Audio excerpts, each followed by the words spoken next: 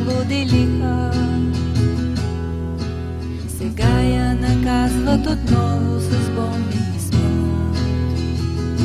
Бомби и смут. Но има герои, които безстрашно очакват врага и се готвят с гърди.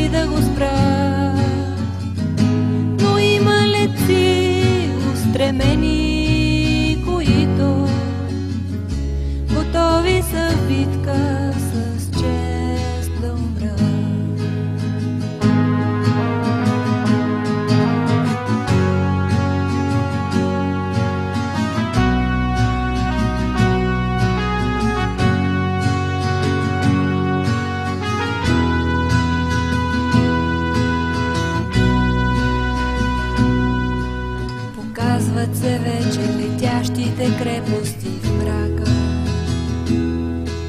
Викират надолу със своя ужасен товар.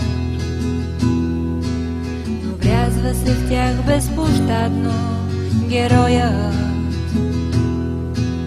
Небето превръща се в жертвен ултар. Жертвен ултар.